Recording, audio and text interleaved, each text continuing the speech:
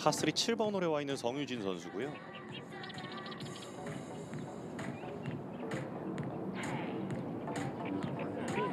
오 들어갔어요. 성유진. 네. 야 이렇게 되면 8언더 파입니다. 네, 또 이 7번 홀이 이벤트가 있는 홀이잖아요. 예. 국내 대회 최초로 경기 중에 환호 그리고 응원이 가능한 홀을 이번 대회 운영을 하고 있는데 그 홀이 이 7번 홀이거든요. 네, 유일하게 pleasure 홀이라고 우리 한국에서 최초로 시도를 하는 홀이 되겠습니다. 네, 그러니까 이 대회에 어떻게 보면 좀 시그니처 홀이라고도 말씀을 드릴 수가 있는 7번 홀이 될 텐데요.